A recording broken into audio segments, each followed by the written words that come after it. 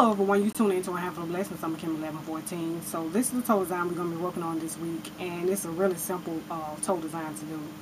Um, I didn't use any nail polish other than my base coat, and I'm going to use a glitter polish on top of the design. Uh, but the colors that I use, the acrylic paints that I use, is a neon pink and a neon orange. And I don't have a name for these paints, but they come in a tube. This is the tube that they come in and this is the name that's on them uh, on the front. And this is the colors. And they came in a box. Um, they're all fluorescent paints so they're extremely bright paints. Um, they're water paints. And I ordered off eBay a while ago um, like last year sometime. And it's 12 colors that come in there. Um, like I said these paints are really bright. I'm going to show you the color of the pink and the orange. So this is a neon pink here. I don't know if it's showing the true color on camera or not, but this is the pink. And this is the orange here. So they're extremely bright as you can see. So I'm going to start off with the um, pink, the neon pink paint.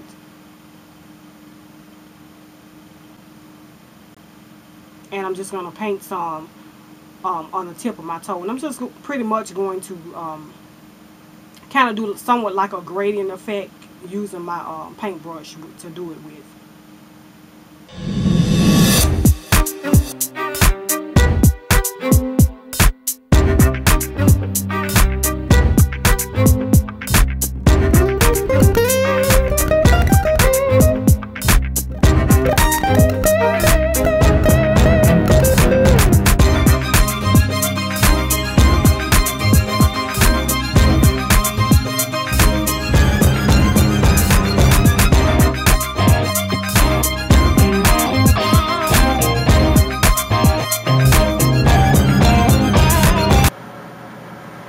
And next I'm going to apply a coat of this glitter polish on top by LA Colors and it's called Sassy Sparkle.